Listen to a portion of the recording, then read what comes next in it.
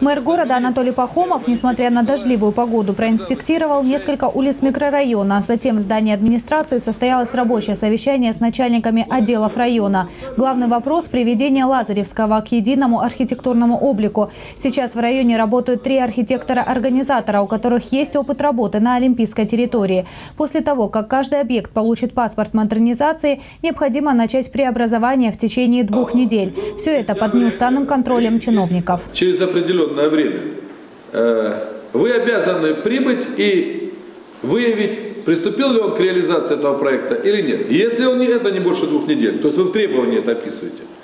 Если он не приступил к исполнению, у вас есть административная комиссия. На административной комиссии выносится штраф. Далее идет судебное разбирательство. Это есть мотивация. Проверить нужно по каждой улице, какие объекты не соответствуют. Это должен быть акт несоответствия объекта. Это должен архитектор-организатор прийти и сказать, из 10 домов 6 не соответствует, и вот и подписал. И этот акт нужно вручить вместе с требованием. В ближайшие дни в районе будет создан специальный штаб по приведению к единому архитектурному облику. Его возглавит глава Лазаревского района Сергей Бражников и заместитель главы города Сочи Олег Ясюк. На центральных улицах микрорайона уже виден результат, например, на улице Павлова.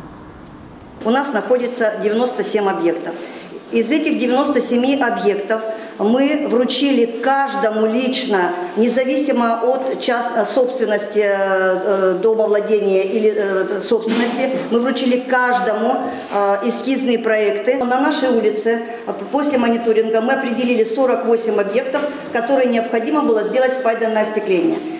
Из 48, Анатолий Николаевич, мы сделали 40, 8 у нас только в работе. Задача не только сделать красивые фасады, но и поддержать чистоту у себя на улицах. Для этого необходимо заключать договоры со специализированной компанией на вывоз мусора. На тех, кто отказывается поддерживать порядок на своих территориях, чиновники будут составлять административные протоколы.